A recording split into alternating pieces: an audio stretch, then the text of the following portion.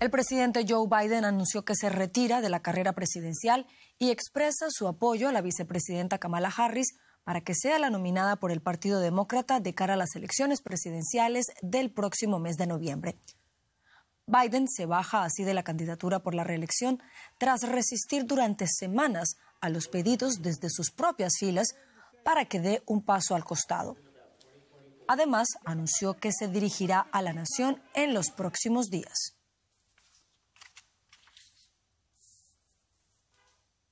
Y en su cuenta de la red social X, Joe Biden escribió, Compañeros demócratas, he decidido no aceptar la nominación y centrar todas mis energías como presidente en lo que me resta de mandato. Mi primera decisión como candidato del partido en 2020 fue elegir a Kamala Harris como mi vicepresidenta, y ha sido la mejor decisión que he tomado. Hoy quiero ofrecer mi total apoyo y respaldo a Kamala para que sea la nominada de nuestro partido este año. Demócratas, es tiempo de unirnos y derrotar a Trump. Hagámoslo. Ampliamos ahora informaciones sobre esta, la noticia del momento con el periodista José Díaz Briceño, a quien saludamos a esta hora en Washington. José, buenas noches. ¿Qué reacciones se conocen en el Partido Demócrata al anuncio del presidente Joe Biden? Así es, un momento monumental en la historia política contemporánea de Estados Unidos.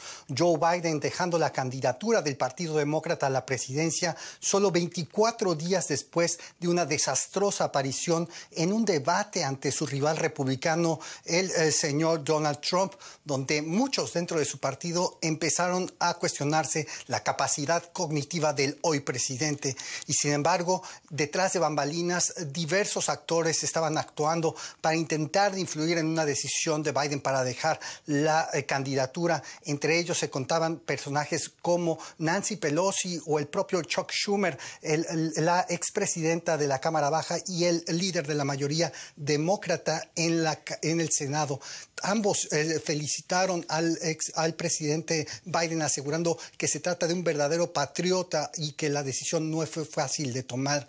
También distintos nombres como el expresidente Barack Obama o el expresidente Bill Clinton y su esposa, la ex candidata Hillary Clinton, también se sumaron a las felicitaciones a Joe Biden. Todo esto tratando de marcar que había sido una buena decisión. Esto luego de una caída brutal en distintas encuestas del presidente Biden a lo largo del país y un abandonamiento por parte de los donantes a su campaña. José, hablemos ahora de los republicanos. ¿Cómo cambia esto la campaña para los republicanos y para Donald Trump? Esta es una jugada que en principio, de acuerdo con los reportes que se tenían, no esperaban los republicanos, pues ellos hacían eh, pues algún tipo de ruegos para que Biden continuara dentro de la campaña como el nominado demócrata. Los números estaban ahí, Biden perdía popularidad en los estados claves para ganar la elección y un cambio en quién podría ser el nominado abre una nueva página.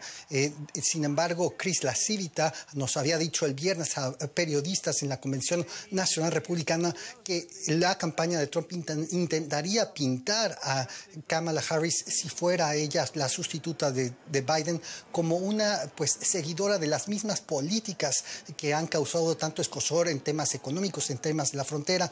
El propio expresidente Trump ya expresó asegurando que Biden se, eh, se trata de un, uno de los peores presidentes de la historia, si no es que el peor, y el líder de la mayoría en la Cámara Baja, Mike Johnson aseguró que si Biden no está listo para ser candidato, tampoco tiene las condiciones para ser presidente y que debería renunciar. Palabras muy duras.